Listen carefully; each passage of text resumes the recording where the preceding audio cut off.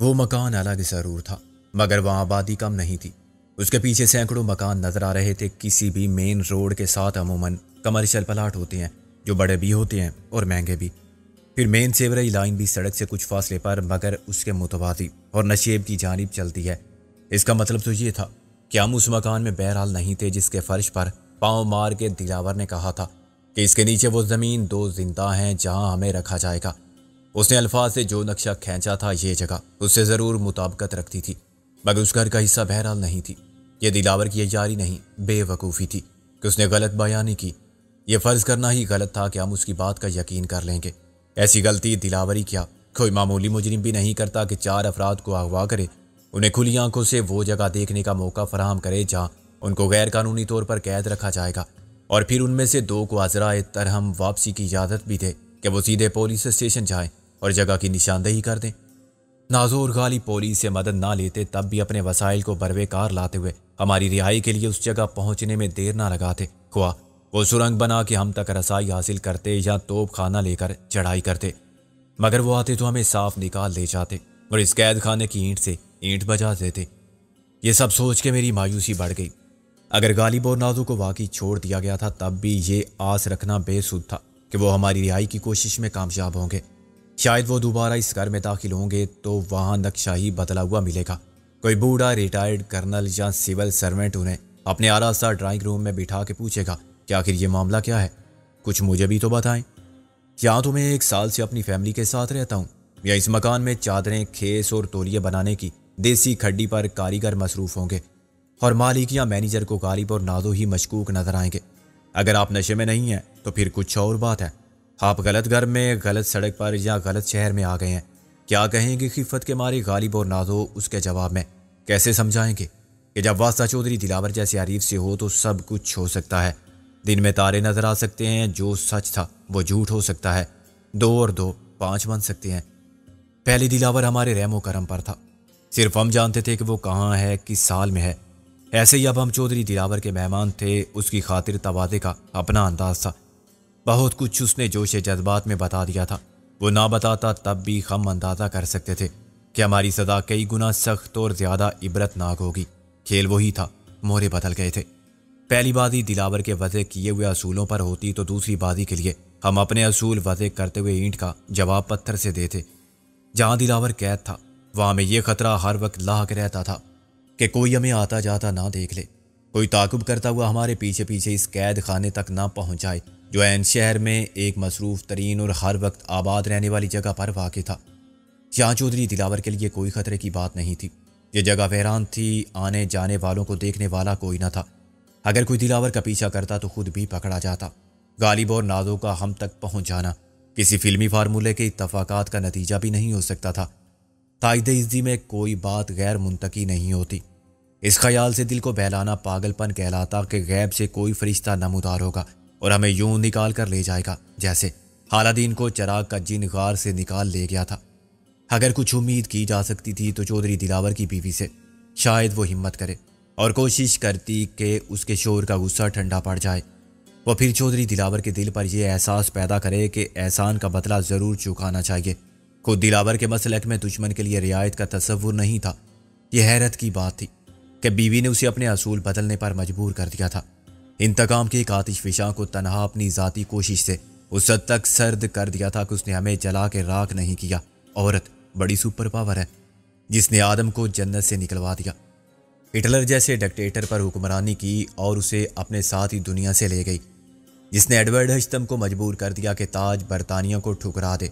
ऐसी कोई औरत चौधरी दिलावर जैसे पत्थर के इंसान को मोम का पुतला बना सकती थी, और बिलाशुबा वो ऐसी ही औरत थी। उसे अपनी जहानत और बदन की ताकत के साथ ही दिलावर की ज़ात के हिसार की हर कमज़ोरी का भरपूर इतराक था। वो जानती थी कि कब मफतू और मगलूब कनीज बन के मर्द की अना के सामने सर झुका देना चाहिए और अपना सब कुछ उसके हवाले करके सब कुछ बर्दाश्त कर लेना चाहिए और कब किसी लम्हे कमज़ोरी को अपनी शाहजोरी का एटम बम बना के इस्तेमाल कर लेना चाहिए कि वही मर्द हीरो शीमा की तरह ढेर हो जाए, जैसे हर मर्द इंथोनी हिटलर या एडवर्ड हजतम नहीं ऐसे यार औरत भी क्लोपीटरा या ईरा बरौन नहीं हो सकती। ताम चौधरी दिलावर के लिए उसकी बीवी को उसी तरह दस्ते कुदरत ने बतौर ख़ास बनाया था। जिस तरह मेरे लिए राबिया को या गालिब के लिए नाजो को। मैं घुटनों में सर रखे सिमटा सिमटाया अपने ख्यालात में गुम और मायूस बैठा हुआ था। गलादत और बदबू का एहसास मुझे अभी तक नहीं। बड़े आजाब में मुबतला आदमी के लिए छोटी सी तकलीफ़ बेवजूद हो जाती है। जो कैंसर में मुबतला हो, उसको एक फिंसी का पता भी नहीं चलता। मुझे भी सबसे ज़्यादा तकलीफ़ अपनी बेलिबासी पर थी। कैद में होने की अजियत का ख्याल उसके बाद था। मुझे यह भी इल्म था कि कुछ फासले पर राबिया के लिए यही आजाब का सामा है। मगर मैं उसकी तरफ़ कैसे देखता? मुझमें तो खुद को देखने की हिम्मत ना थी। लाइन की दीवारों पर काकरोच फिर रहे थे। गंदे पानी में कीड़े कलबला रहे थे और ऊपर चढ़ने की कोशिश में बार बार नीचे गिर रहे थे। मैंने मकड़ियाँ और चिंटे भी देखे, फिर अचानक मेरे पाँव के अंगूठे को जैसे किसी ने खंजर की तेज नोक से उधेड़ दिया। तकलीफ़ से तड़प कर मैंने पाँव को पीछे किया और बड़ी मुश्किल से अपनी चीख को दबाया। बिल्ली के साइज़ का एक चूहे जैसा जानवर तेज़ी से भागता हुआ जाल के पीछे गायब हो गया। खौफ से मेरा रुआ रुआ खड़ा हो गया। क्या ये गोश्तखोर जानवर मुझे लाश समझ के मेरे बदन को खाने आया था? चूहे बिल्ली क्या शेर तक इंसान से डरता है और जब तक मजबूर ना हो जाए, हमला नहीं करता। लाश पर तो चील कव्वे भी बेड़ियों के साथ आ जाते हैं। मेरे अंगूठे से खून बह रहा था। मैंने जख्म को उंगली और अंगूठे की मदद से दबा के रोका। साफ़ पानी होता तो मैं जख्म को धो के साफ़ करता, मगर इस पानी से तो उल्टा सेप्टिक हो जाने का डर था। सर्दी के बावजूद मुझे पसीना आ गया। यह खतरनाक और शफाक चूहा इस जाल से निकल के फरार हुआ था। जिधर से बल्ब की रोशनी आ रही थी। इस महदूद रोशनी में सुरंग जैसी लाइन सौ, दो सौ गज तक भी मुश्किल से नज़र आती थी। उसके बाद अंधेरा था, जो ठोस या दीवार की तरह हमारे और ज़िंदा इंसानों की दुनिया के दरमियान खायल था। यह अंदाज़ा करना मुहाल था कि सुरंग में कोई मोड़ कहाँ आता है और ज़मीन की सतह के ऊपर तलू होने के लिए मेन होल कितनी दूर है। मेन होल अगर एक गज दूर होता तब भी बेकार था, क्योंकि दरमियान में लोहे की सलाखों की मज़बूत जाली थी जिससे सिर्फ़ मेरा हाथ गुजर सकता था। ये सलाखें आधा इंच मोटी थीं और साफ़ ज़ाहिर था कि खसूसी इंतज़ाम के तौर पर नस्ब की गई हैं, वरना किसी गटर लाइन में ऐसा पिंजरा नहीं होता। ये पिंजरा बनाने वालों को फौरी तौर पर यह अंदेशा भी लाक नहीं था कि इसे सेवरज का फलो मुतासर होगा और लाइन चौक हो जाएगी। छोटा मोटा कचरा छः इंच मुरबा जाली से निकल सकता था और बिलफर्ज कोई बड़ी चीज़ अड़ जाती तो वो नीचे आके उसको हटा भी सकते थे। मेरे अंदाजे के मुताबिक बल्ब लटकाने के लिए मेन होल का ही इंतखब किया गया होगा और कोई नीचे आएगा तो डकना हटा के ही उतरेगा। राबिया ने चीख मारी तो मैं उछल पड़ा और घबरा के उठा तो मेरा सर छत से लगा। उसकी चीख की गूंज किसी स्टीम इंजन से ज़्यादा भयानक और समय खराश थी। मैंने चिल्ला कर कहा, राबिया! और फिर उसकी तरफ़ देखा तो मेरी आँखें खुद ब खुद बंद हो गई। मेरी तरफ़ उसकी पुश थी और वो भी मेरी तरह। अपने घुटनों में सर दिए और दोनों हाथों से जिस्म समेटे यूँ बैठी थी कि खुद को भी ना देख सके। वो चिल्लाने लगी, सिकंदर सिकंदर मेरी तरफ़ मत देखो। मैं चीख चीख कर मर जाऊँ तब भी मुझे मत देखना। मैंने कहा, जान, मेरी आँखें बंद है। पर्दा होता है नज़र का और नीयत का। वो चिल्लाई, नहीं नहीं मुझसे बर्दाश्त नहीं हुआ। मैंने गलती की, जो चीख मारी। क्या तुम मरने से डरती हो? मुझसे ये जिल्लत की मौत बर्दाश्त नहीं होती, सिकंदर। गुजारो की तार रो रही थी। दिलावर से कहो, हमें गोली मार दे, जहर दे दे। जैसे चाहे मार डाले हमारी लाशों को, यहाँ पड़ा रहने दे। लेकिन ऐसी ज़िंदा ना रखे। वैसे ही ज़िंदा रखना चाहता है हमें राबिया। हर मौत अपने वक्त पर आएगी। मैंने उसे तसल्ली दी। अगर ये आजमाइश है तो इसे बर्दाश्त करना होगा। हमारे इख्तियार में कुछ भी नहीं है। अगर ये आजमाइश है तो इसे बर्दाश्त करना होगा। हमारे इख्तियार में कुछ भी नहीं। यहाँ चूहे भी हैं सिकंदर। आदम खोर चूहे। हाँ एक चूहे ने मेरे पाँव के अंगूठे पर काटा था। वो बोली, मेरे भी अंगूठे का गोश्त नोच लिया था उसने। मैं खून देख के दहशत ज़दा हो गई थी। मैंने कहा, देखो राबिया, तुम भी अपनी आँखें बंद कर लो और फिर उठ के आहिस्ता आहिस्ता मेरी तरफ़ आओ। नहीं नहीं, सिकंदर। हौसला रखो मेरी जान। यहाँ कौन है हमारे सिवा? और जब हम एक दूसरे की तरफ़ देख नहीं रहे तो फिर करीब आके बात करने में क्या हर्ज है? समझ लो, तुम भी बाथरूम में हो, और मैं दूसरे बाथरूम में हूँ, लेकिन हम एक दूसरे की आवाज़ सुन सकते हैं। सिकंदर, तुम कुछ नहीं कर सकते। खुदा के लिए कुछ करो। मैंने कहा, मुझे बताओ, मैं क्या करूँ? यहाँ करने को तो कुछ भी नहीं। मैं खाली हाथों से इन सलाखों को नहीं उधेड़ सकता। मैं दाएँ, बाएँ, ऊपर, नीचे कहीं भी इस सुरंग में सोराख तक नहीं कर सकता, एक दर्ज तक नहीं बना सकता। ये सीमेंट और जाल की तरह लिपटे हुए फौलादी तारों से बनी हुई लाइन है। मेरे हाथ में हथौड़ा होता तब भी। मैं इसके ऊपर कई फुट मट्टी नहीं खोज सकता था। मैंने कहा था ना मैं मर जाना चाहती हूँ तुम्हारे साथ। कितना अच्छा वक्त था वो। कितनी अच्छी मौत होती, उसकी आवाज़ अब ज़्यादा नज़दीक आ गई थी। क्या तुम्हें मालूम है, ये जगह कहाँ होगी? दिलावर ने कहा था। दिलावर ने झूठ बोला था। मैंने उसे अपने अंदाजे के बारे में बताया। वो कायल हो गई। ऐसे कितने दिन ज़िंदा रहेंगे हम सिकंदर? जब तक खुदा को मंजूर होगा। लेकिन हम हौसला नहीं हारेंगे, राबिया। आखिरी सांस तक वादा करो। पहले मुझे मरने देना सिकंदर। ऐसी बातें मत करो। हम ज़िंदा रहेंगे। मुझे खुदा पर पूरा भरोसा है। भरोसा तो मुझे भी है। लेकिन लेकिन मैं अकेली रहेगी तो? ऐसा नहीं होगा। उससे पहले ही कोई बचा लेगा हमें। उसने कहा, कौन? या तो गालिब और नाजो भी नहीं पहुँच सकते? ये तुम्ही ने तो कहा है। मुझे अपनी गलती का एहसास हुआ। राबिया को पूरी उम्मीद रखने के लिए मुझे अपनी अखज करदा मालूम को, अपनी ज़ात तक महदूद रखना चाहिए था। ये उम्मीद उसका बहुत बड़ा सहारा रहती कि हम उसी घर के तय खाने में हैं, जहाँ गालिब और नाजो का किसी वक्त भी हमारी मदद के लिए पहुँच जाना एन मुमकिन है। मैंने इस उम्मीद की बुनियादी नहीं रहने दी थी। अहमद मैंने खुद से कहा। मैंने कहा, रोना बंद करो जाना। मैं इतना मजबूर हूँ कि तुम्हारे आँसू भी पूछ नहीं सकता। मैं ना देखने के बावजूद तुम्हारी आँखों में आँसू देख रहा हूँ। रोने से कुछ फ़ायदा नहीं होगा। ये ठीक है कि गालिब और नाजो का यहाँ पहुँचना शायद मुमकिन ना हो। शायद इसलिए कि जो कुछ मैंने तुमको बताया वो गलत भी हो सकता है। नहीं, तुम्हारा जहन काम कर रहा है। बिल्कुल ठीक नतज अखज किए थे तुमने। मैंने अपनी बात जारी रखी। लेकिन मैं समझता हूँ कि दिलावर की बीवी की कोशिश से हम बच जाएँगे। उस औरत के दिल में एहसान मंदी के जज्बात हैं। हमने उसे बचाया। उसके घर बार को, शोहर को, बच्चों को। और देखा जाए तो उनका सब कुछ हम ही ने तो बचाया था। मैं और मोहसिन उसे ना निकालते तो वो भी ऑफ़िस में लगने वाली आग में जल के खाक हो जाती या उससे पहले ही दम घुट के हलाक हो जाती। फिर शोकत राना और उसके बच्चों को भी ठिकाने लगा देता। उसके कारोबार पर काबज हो जाता और फिर दिलावर मिलता। तो उसे क्या मिलता? ये तो ठीक है, मगर दिलावर मैंने कहा हाँ दिलावर कमीना और एहसान फरामोश है। लेकिन उसमें एक तब्दीली नोट की तुमने? पहले वो बीवी को कुछ नहीं समझता था। लेकिन अब वो उसे कितनी अहमियत देने लगा है? वो समझता है कि उसकी शरीक आयात ने उसकी अदम मौजूदगी में हालात का मर्दाना वार मुकाबला किया।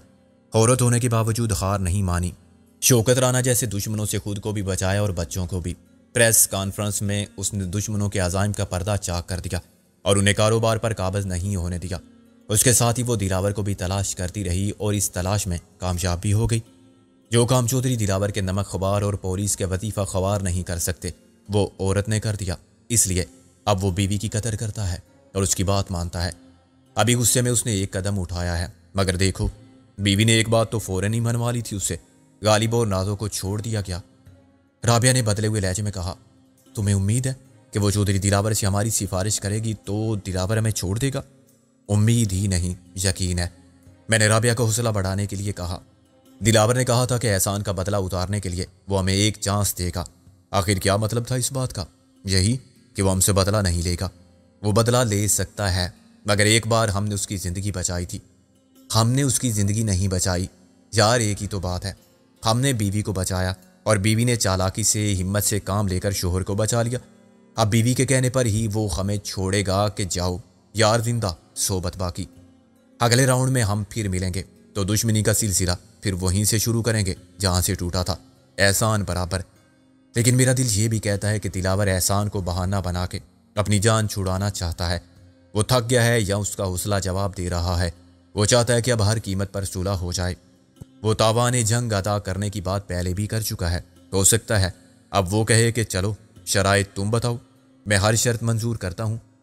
सिवाय एक शर्त के मुझे तख्तेदार तक पहुँचाने की जिद छोड़ दो।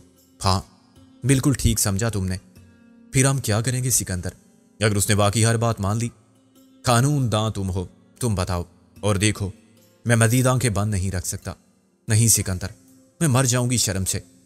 भाई, मैं मुँह फेर के खड़ा हो जाता हूँ, तुम भी मेरी तरफ़ पीठ कर लो, बल्कि जहाँ खड़ी हो, वहीं बैठ जाओ, मैंने कहा, यहाँ यहाँ तो काकरोच बहुत हैं, काकरोच काटते हैं। मुझे डर लगता है, मैंने कहा, लगने दो, मेरे तुम्हारे दरमियान छह फुट का फासला है, और दोरी चाली है, इसे तोड़ के मैं तुम्हारा खौफ दूर करने आ सकता तब भी, इस सालत में ना आता। यहाँ तो छिपकलियाँ भी होंगी। एक तो तुम खुद हो, मैंने कहा। ये रींग रहे हैं, दीवारों पर चूंटे हैं। अब यही देखती रहोगी, आँखें बंद कर लो। सब गायब हो जाएँगे। हैरत है अभी तक तुमने बदबू पर नागवारी का इजहार नहीं किया। सिकंदर, खाए पिए बगैर आदमी कब तक ज़िंदा रह सकता है? मैंने कहा, आदमी? कौन सा आदमी? अपना यार मंदिर शायद एक दिन बाद अल्लाह को प्यारा हो जाएगा। मैंने कभी इसका तजर्बा नहीं किया। हर आदमी की कुत बर्दाश्त अलग होती है। एक हफ़्ता जी सकते हैं हम? फिर तड़प तड़प कर मर जाएँगे। वो सहम के बोली, फिर वही बेवकूफ़ी की बात। उससे पहले हमें निकाल दिया जाएगा। मैंने कहा, मैं बहुत पुर एतमाद लहजे में बात कर रहा था, मगर अंदर से मेरी अपनी भी वही हालत थी जो राबिया की थी। जितना मैं उस तस्वुर को जहन से दूर रखने की कोशिश करता था, उतना ही अपने अंजाम का खौफ मेरे आसाब पर मुसलत होता चाहता था और मेरे लिए आने वाले वक्त की भयानक तस्वीर ज़्यादा वादे होने लगती थी। अभी चंद घंटे गुजरे थे। बाहर की दुनिया में न जाने क्या वक्त हुआ था, लेकिन अंदर वक्त थमसा गया था। और तारीकी जो रात की अलामत होती है, मुंजमिद होकर ठहर चुकी थी। एक बल्ब था, जो थोड़ी सी रोशनी फराहम कर रहा था। रोशनी भी ज़िंदगी की अलामत होती है, जब सूरज तलु होता है। और दिन की मुसाफत तय करके गरूब होता है तो चाँद निकल आता है। और तारों का सफ़र शुरू हो जाता है। इस सरकत से रोज़ो शब, माओ, साल का और ज़िंदगी के सफ़र में पेश रफ्त का एहसास बाकी रहता है। मुसलसले की जगह एक ही अंदाज में चलने वाला बल्ब जुमूद की अलामत बन गया था। अगर मेरी कलाई पर घड़ी होती तो उसकी मुतहरक सुइयाँ देख के भी वक्त के साथ रिश्ता इस्तवार रखा जा सकता था।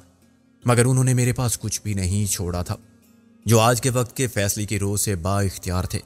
कैद में एक आज़ाब अपनी बेबसी के एहसास का होता है तो दूसरा अपने ही ख्यालात गोले बयाबानी का, जो अकेला पाके हर सम से जलगार करते हैं। जैसे जंगल में तनहा मुसाफिर को रात के वक्त पेड़िए हर तरफ़ से घेराव करके डराते हों, कोई उनसे भाग के, जा भी तो कहाँ सकता है? अभी सारा दिन और फिर आने वाली रात है, मैंने सोचा। लेकिन मुझे क्या मालूम कि बाहर रात है या दिन बाकी है।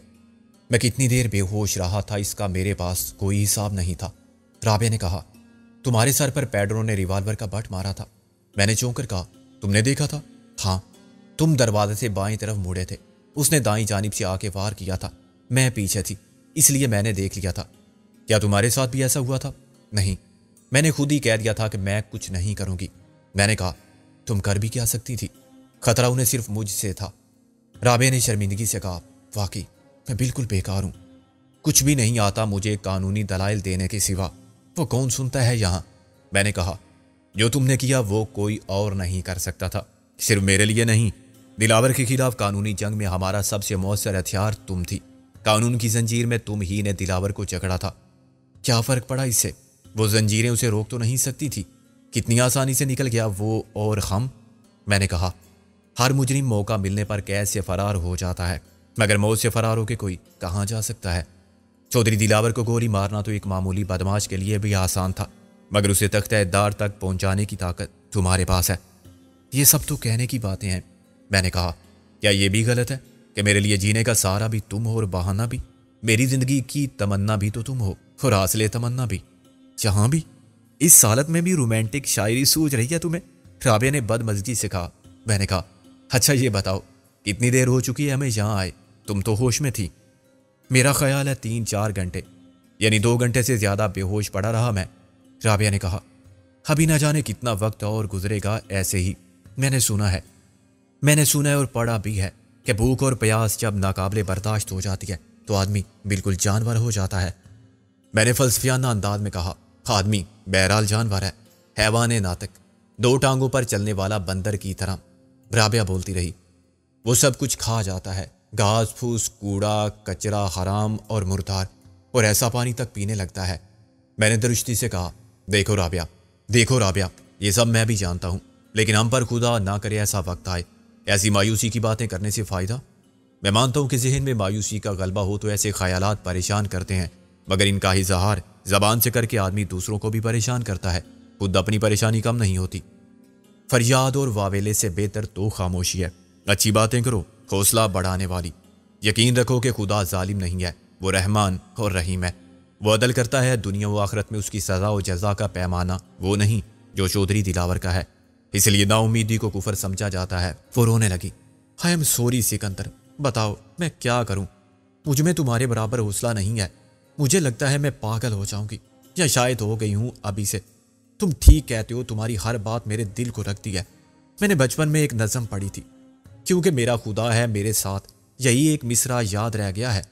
वो बोलती रही, मैं सुनता रहा, फिर वो भी खामोश हो गई, और मैं भी खामोश। मैं बहुत कुछ सोचता रहा, सुनता रहा। वो आवाज़ें जो ख्यालों में दिलासा देती थी, और वो आवाज़ें जो उम्मीद को शराब कहती थी। कालिब और नाजों की आवाज़ वकार यूसुफ और निकी मोहसिन और गुल, मंजिर और मौलवी खादिम हुसैन हर आवाज़ का एक रूप था। ये जीती जागती आवाज़ें थी जिनका रास्ता दीवारें नहीं रोक सकती थी। मौलवी खादिम हुसैन का ख्याल आया तो मैं मुस्कुराने लगा। फिर तस्वुर मुझे बहुत दूर लाहौर से कराची ले गया, जहाँ इकराम शेख था और काजल थी, जहाँ से सारी खराबी शुरू हुई थी। एक बार फिर राबिया ने मुझे हकाई की संगीन दुनिया में खींच लिया। उसने कहा, जब रात होगी तो क्या नींद आएगी? मैंने बेख्याली में कहा नींद तो सूली पर भी आ जाती है। ये तो मुहावरा है। वो तो हमेशा की नींद होती है। यहाँ तो मेरा खड़ा होना भी मुश्किल है। तुम कैसे बैठे हो? कमर सीधी करने की जगह भी नहीं है। मेरे पाँव तो सुन्न हो गए हैं इस पानी में। टांगे अकड़ गई हैं। तुम कहते हो ऐसी हालत में नींद आ जाएगी? चौबीस घंटे जागने का तजर्बा है मुझे। यहाँ शायद उससे पहले ही थक के गिर जाऊँगी इसी पानी में।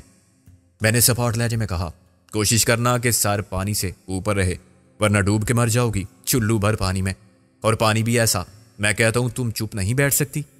कुछ देर बाद फिर बोलने लगोगी, मुझे भूख लगी है, सर्दी लग रही है, नींद आ रही है, प्यास लगी है, बताओ बताओ मैं क्या करूँ, और कैसे करूँ, फिर शुरू कर दिया रोना। ठीक है, बहा दो सारे आँसू इस गलीज पानी में। मेरी बात ख़त्म भी नहीं हुई थी कि बल्ब झूलने लगा।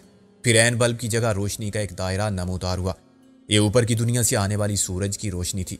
मैंने कहा, राबिया, कोई आया है? मैं पलट के नहीं देखूँगी। तुम बता देना कि कौन आया है। मैंने कहा यह गटर का ढक्कन था। इसे खोल के उतरेगा कोई। रस्सी की सीढ़ी लटकाई है किसी ने। एक हुक्म का गुलाम उतरा है। इसका मतलब है, नहीं, ये तो खाली आता आया है। एक तरफ़ खड़ा हो गया है सर झुका के। अब किसी ने ऊपर से कुर्सी पकड़ा दी है। उसने सीढ़ी के पास फोल्डिंग कुर्सी को खोल दिया है। जैसे माजूरों वाली व्हील चेयर होती है। ये कुछ ऐसी कुर्सी है, इसमें नीचे पहिए लगे हुए हैं। बहुत छोटे छोटे मेरा ख्याल है कि अब दिलावर आएगा। वो सीधा चल नहीं सकता इस जगह और खड़ा भी नहीं रह सकता। वो कुर्सी पर बैठ के आगे आएगा। उसके पाँव भी पानी से ऊपर रहेंगे। मेरा ख्याल दुरुस्त था। राबिया ने कहा, चौधरी, दिलावर आया है? अकेला? हाँ। उसने मुहाफिज को वापस ऊपर भेज दिया है। उसके हाथ में एक आकी है। उस आकी से वो अपनी कुर्सी को आगे बढ़ाने में मदद दे रहा है। कुर्सी खास तौर पर बनवाई गई होगी। उसके दो पहिए दाई जानब की दीवार पर हैं। दो बाई जानब। कुर्सी फिसलती आ रही है। मैं क्या करूँ सिकंदर? वो कमीना मुझे इस तरह देखेगा। अपनी आँखें बंद कर लो, कान खुले रखो। आखिर मैं भी तो उसका सामना करूँगा, बेशर्मी के साथ।